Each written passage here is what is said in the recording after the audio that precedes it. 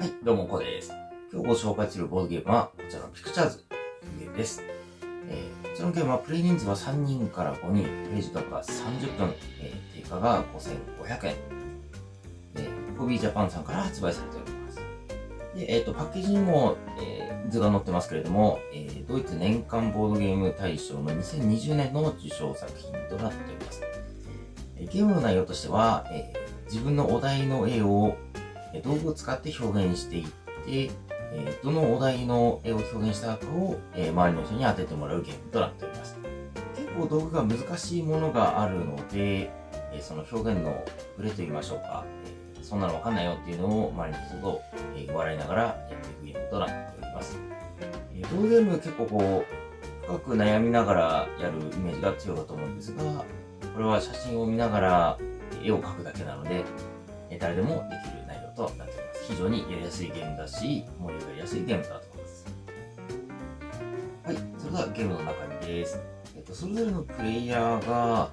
えー、色付きキューブ、えー、記号のカード、えー、それから積み木、えー、靴紐、それから、え石とキノコの中から、えーと、好きな道具を選んで自分の道具にします。でそれぞれのあのプレイヤーの道具が決まったらですね、えー、この黒い袋の中から他の人に見えないようにチップを1枚。これ裏がハテナマークですけれども、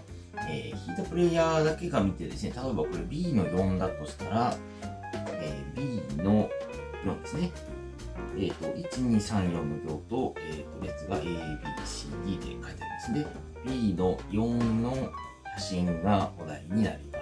これを、えーと、自分の手元の道具で表現して、周りに開けて当ててもらうというゲームになってます。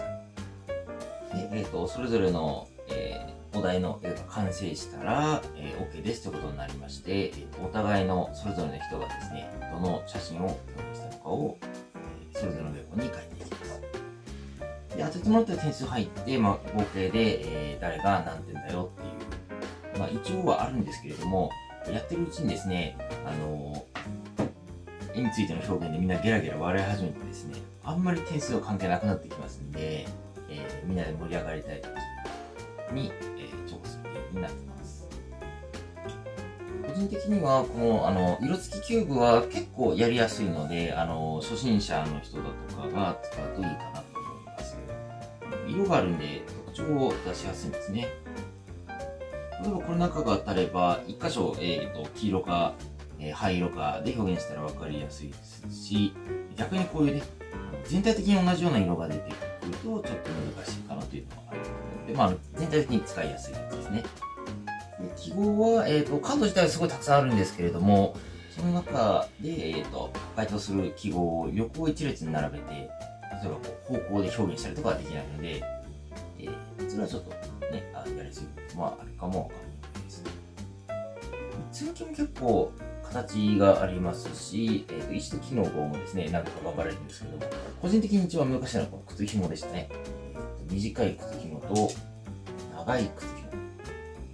紐を使って絵を表現するんですけど、例えばこれとか靴紐当たっちゃったらどうやって表現するんだっていうんですよね。もう当てられた本人も、え、これ無理じゃないなんて言いながらね、それでも絵は描かなくちゃいけないので、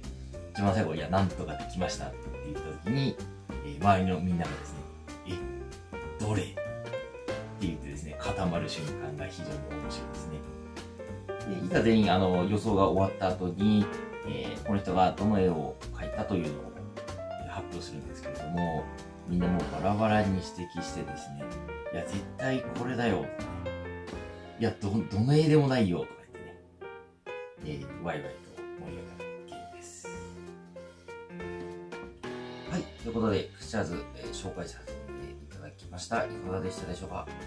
えー、このゲームはですね、えルール設定がほとんどありませんので、えー、特にプロゲーム慣れてない人がいても、その場ですぐに始められる、